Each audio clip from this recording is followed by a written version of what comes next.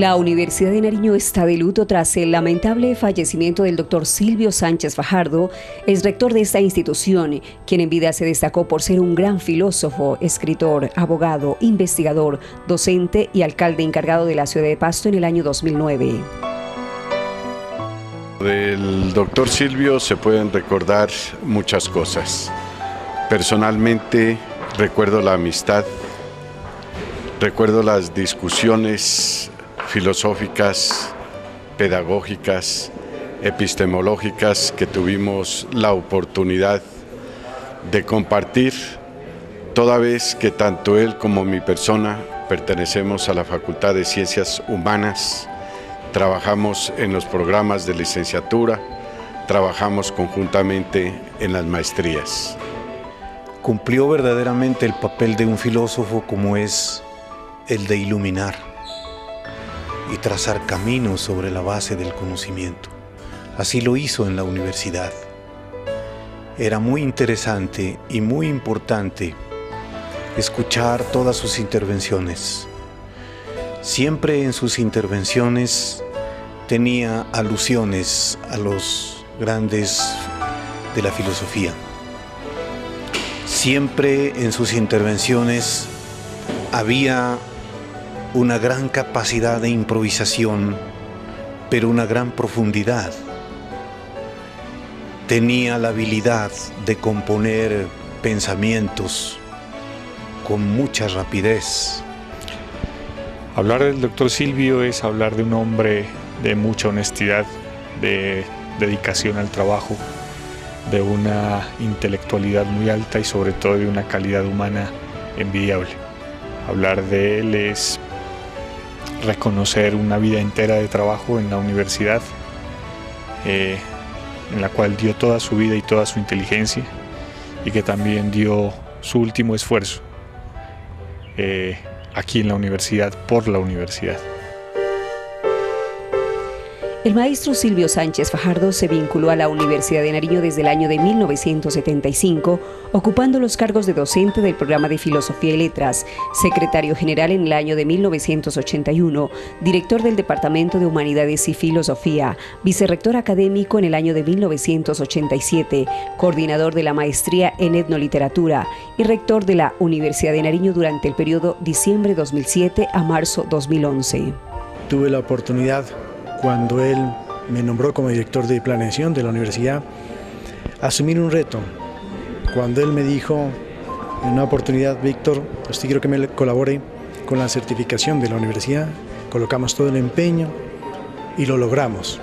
Eso queda como modo de satisfacción uno como profesional de haberle cumplido una misión que él nos encomendó. Es muy grato recordar que el profesor Silvio Sánchez Fajardo fue compañero de estudios en nuestra universidad cuando hacia el año 1970 ingresamos al programa de licenciatura en Filosofía y Letras, el cual en aquella época pertenecía a la Facultad de Ciencias de la Educación. Es importante rememorar su dedicación hacia el área de la filosofía, pero también en el campo de las letras.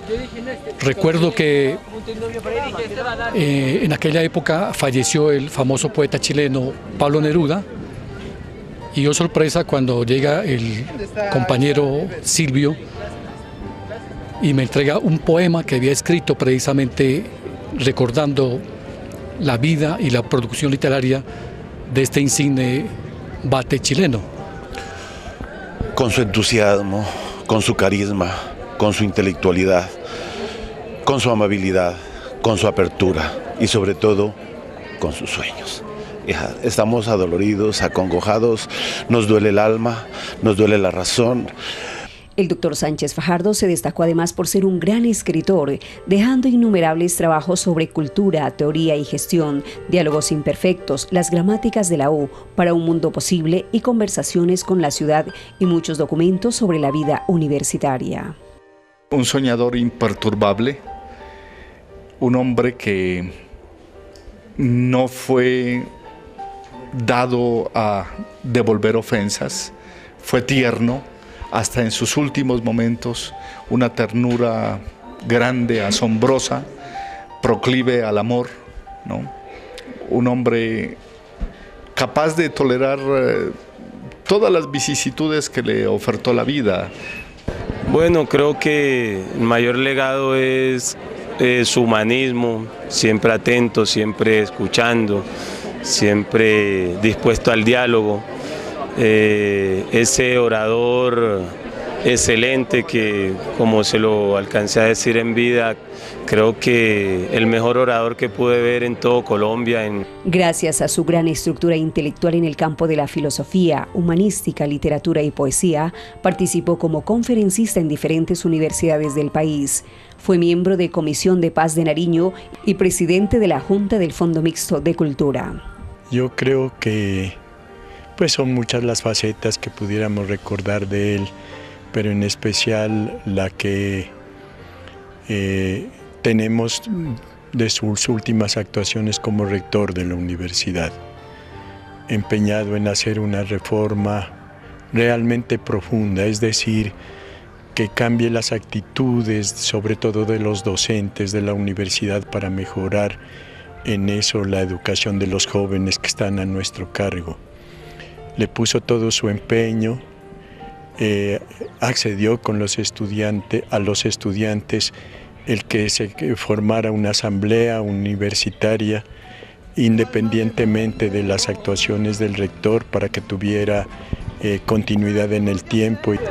El maestro Silvio eh, le permitió a la universidad volver a pensarse, retornar el discurso que quizá estaba muy efímero en los últimos años. Eh, pensar la universidad en conjunto con la región nos permite volvernos a encontrar con aquellos mundos posibles que quizá el maestro Silvio nos enseñó a todos a conquistar. No solamente era la administración, era un pensarse único en la universidad, un pensarse desde la fraternidad, desde la solidaridad, desde una reflexión íntegra de ese filosofar que caracterizaba al doctor. Para mi mal viene a buscarme la barca, empujar al mar mi barca con un levante otoñal y dejar que el temporal desguace sus alas blancas por determinación del Consejo Superior de la Universidad de Nariño y atendiendo el deseo personal del doctor Silvio Sánchez Fajardo, sus despojos mortales serán velados en cámara ardiente durante tres días en el Paraninfo Universitario, sitio donde se realizarán actos religiosos, académicos y conmemorativos en honor a su memoria. El acto litúrgico se realizará el miércoles 13 de abril en el Templo Cristo Rey a partir de las 11 de la mañana. La Universidad de Nariño expresa su voz de condolencia a su familia y a sus amigos por el lamentable deceso del exrector de nuestra institución, Silvio Sánchez Fajardo, un humanista que deja un gran legado de sabiduría, perseverancia, sencillez, ternura, bondad y amor por el alma mater.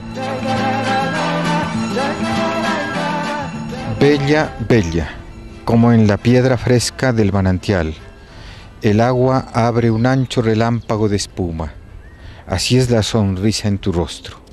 Bella, bella, de finas manos y delgados pies como un caballito de plata. Andando, flor del mundo, así te veo. Bella, bella con un nido de cobre enmarañado en tu cabeza. Un nido color de miel sombría donde mi corazón arde y reposa. Bella, bella, no te caben los ojos en la cara no te caben los ojos en la tierra. Hay países, hay ríos en tus ojos. Mi patria está en tus ojos. Yo camino por ellos. Ellos dan luz al mundo por donde yo camino, Bella.